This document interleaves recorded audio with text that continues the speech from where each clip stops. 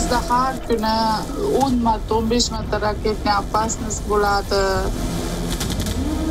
Raketa qayerga попал tushishini bilmaysizku shu yoqqa otishyapti.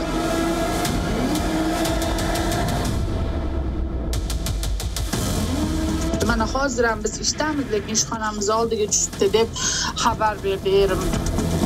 Qo'rqinchli bolalari bor ayollar ko'p o'zbeklar ular kimdan yordam kutadi shu o'zbeklardan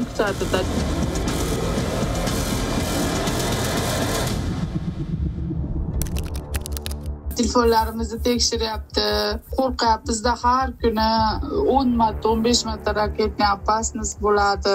Raketa qayerga попал tushishini bilmaysizku shu yoqqa otishyapti.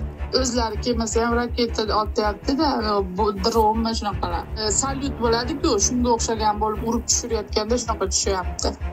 6 avgust kuni Ukrainaning Kurskga kirib borishi nafaqat rossiyaliklar, balki u yerda yashab ishlayotgan o'zbekistonliklarni ham xavotirga qo'ydi. Biz bilan bog'langan kursdagi o'zbekistonliklar vaziyat juda jiddiy va tahlikali ekanligini bildirishdi.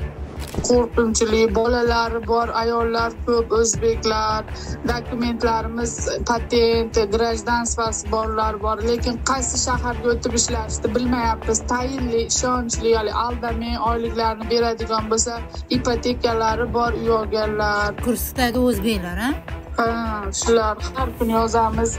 Kimdir e, saratovga ketgan kimdir tanish bo'lsa moskvaga ketgan. Men xo'jayinim bilan bu yerda ko'p ayollarda er xotin o'zi bolalari bilan. Buraklar bolalarini berib yubordi доверенность qilib birovlardan. Kimdir ko'chib ketdi tanishi borlar ну tanishi yo'qlar besh oltitadan bolalari borlar borda. Qayerga boraman oltita bolam bilan deyayotganlar maktablarga joylab shunaqa yordamlar qilsa bo'larmikin shularga shu ko'chirib olib borib dokumentlari joyida grajdanin hammasi. Besh oltita bolalar bolalar ham. Rossiya fuqarolari. Ha lekin o'zbeklar ular kimdan yordam kutadi shu o'zbeklardan kutadida chunki bular o'zini odamini evakuatsiya qiladi to'g'ri bularni ham olib ketishi mumkin lekin ish bilan ta'minlab berolmaydiyu сразу chunki hozir sudjadan odamlarni olib kelgan talpaga joylagan shu ovqat beradi бесплатно shu kiyim yordam qilinglar nima bo'lsa yordam qilinglar deyapti lekin yotishibdida talpada. Suhbatdoshimizning aytishicha ayni paytda kursda qolayotgan o'zbekistonliklar soni 300 dan ziyod. Ular orasida 100 dan ortiq ayollar va bolalar ham bor. Kursdagi o'zbekistonliklar rossiya politsiyasi tomonidan ta'qib qilinayotgani turli bosimlar ostida ekanliklarini bildirishdi.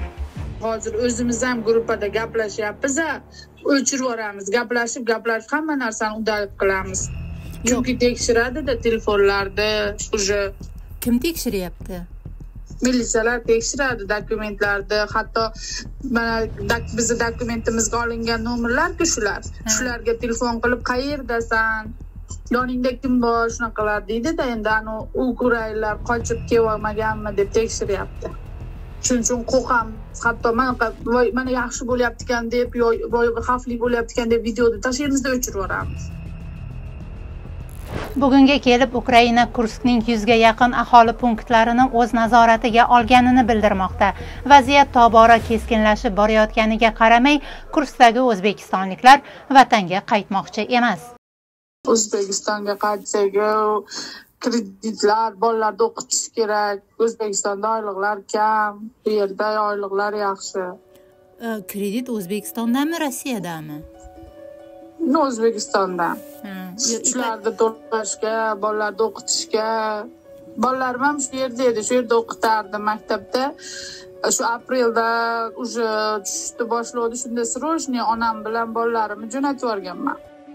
Biz bilan bog'langan kursdagi o'zbekistonliklar rossiyaning xavfsiz hududlariga ko'chib ish va uy topib joylashishlarida yurtdoshlarining yordamlariga muhtoj rostdan minnatdor bo'lib duo qilardi chunki hamma qo'rqyapti. Mana hozir ham biz ishdamiz lekin ishxonamiz oldiga tushibdi deb xabar berdi erim. Erim birinchi etajda men to'rtinchi etajdaman. Xorijdagi yurtdoshlar muhojirlikda o'zingiz duch kelayotgan voqea hodisalar yutuq va muammolaringiz fikrlaringiz va munosabatlaringizni bizga yozishingiz.